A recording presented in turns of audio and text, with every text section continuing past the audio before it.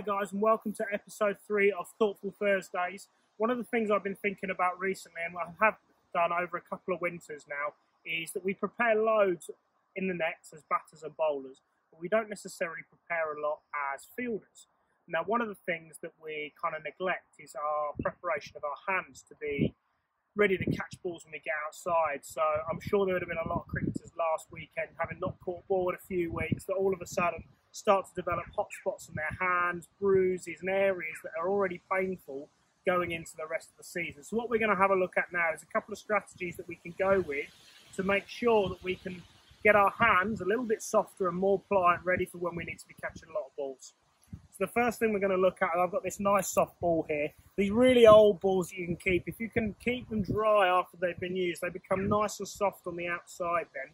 They may not be much use for batting or bowling, but they're certainly really good use for then starting to throw around in your hands, just starting to soften your hands up. And the more that you can do this over time across all your your hands, making sure that you kind of get the ball into the palm, but also in and around the joints as well, just to toughen them up a little bit because the more that we do this, the better getting into the season. And then what we'll look to do is you then, once you've done that with a soft ball over time, you can then look to have a slightly harder ball as well. So the harder outside will then toughen them up a little bit more.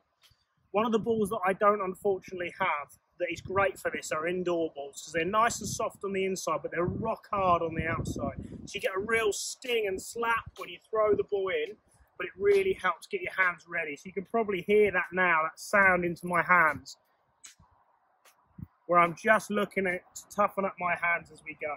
So the next stage we can look at then is working with someone at home and your family or getting a friend just to start chucking you a couple of balls. Now, it doesn't really matter what sort of height you look to catch these on. All we want to do is just feel the ball come into our hands. We want to make sure that the ball is thrown fairly forcefully over a short distance to make sure that you're preparing your hands. This isn't about learning how to catch. This is about preparing your hands to catch a lot of balls.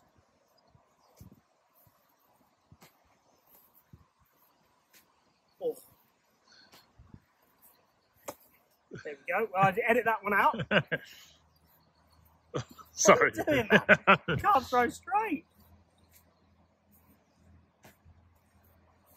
Now, depending upon how detailed you want to get on this, you may feel that catching conventionally in reverse hand, you start to develop different hot spots in your hand. So you may want to have a go, having some above your head as well, just so you can we'll have another go, just so you can start to develop a little bit of resistance in your hands so they feel nice and pliant.